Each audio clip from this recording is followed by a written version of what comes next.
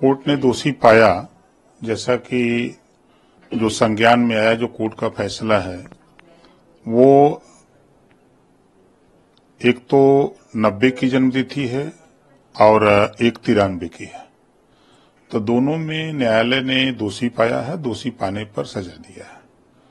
तो वो न्यायालय के फैसले को सभी लोग मानते हैं, हम लोग भी मानते हैं। जो फैसला आया है, अब उस फैसले को सभी लोग उसका स्वागत करेंगे। अब जहाँ तक सवाल आज़म जी का है तो वो आगे अपील करें सुप्रीम कोर्ट जाके अपना अपील करें फरियाद कि क्या गलत है क्या सही है। सपा राष्ट्रीय अध्यक्ष अखिलेश यादव कह रहे हैं कि आज़म खान मुसलमान है इसलिए इनको फर्जी जन्म प्रमाण पत्र मामले में फंसाया गया।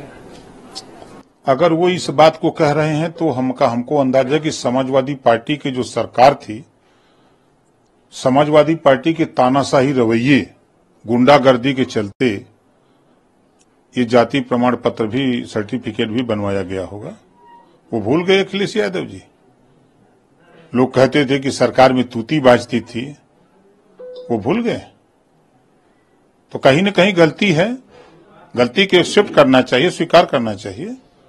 और अदालत ने जो फैसला दिया है, फैसले आते हैं, तमाम फैसले आते हैं।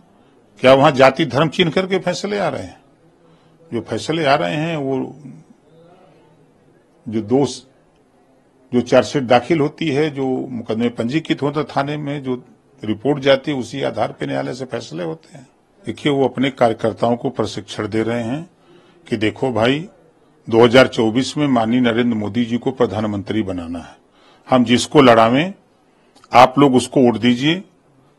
बस वो यही सिखा रहे हैं। प्रमाण है कि हम लोग एनडीए में शामिल होकर के, सट करके हम लोग सहयोग कर रहे हैं कि 24 में माननीय नरेंद्र मोदी जी प्रधानमंत्री बनेंगे। और समाजवादी पार्टी, ये हट करके माननीय अखिलेश यादव जी सहयोग कर रहे हैं कि 24 में माननीय नरेंद्र मोदी जी प्रधानमंत्री बने।